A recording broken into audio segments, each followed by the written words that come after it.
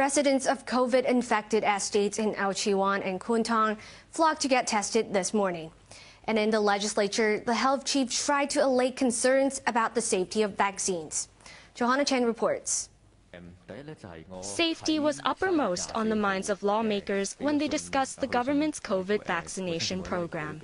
Health Minister Sophia Chan said under emergency usage measures, pharmaceutical firms may be exempted from legal liability. Now, if that's the case, if they are free from liabilities, so if people are injected and something goes wrong, people, uh, members would have to shoulder their own responsibility.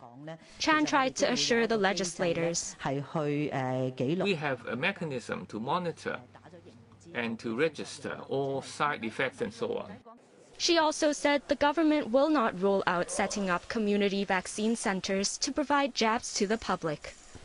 Chief Executive Carrie Lam announced last week that the government has secured 15 million doses of the vaccine.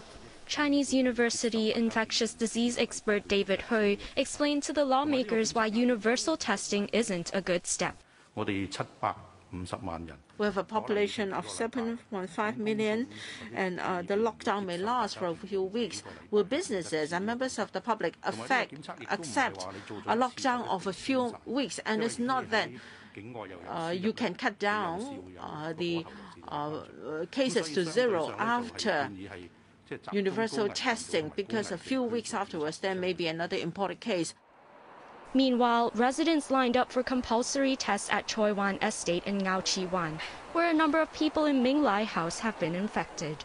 There were also long lines in Kwun Tong for people living in Tat Yi House in Po Tat Estate. This man said the arrangements were late as he took a test last week, but he brought his child with him in case both needed to be screened again. Residents of other buildings were advised to undergo voluntary tests. Johanna Chan, HKIBC.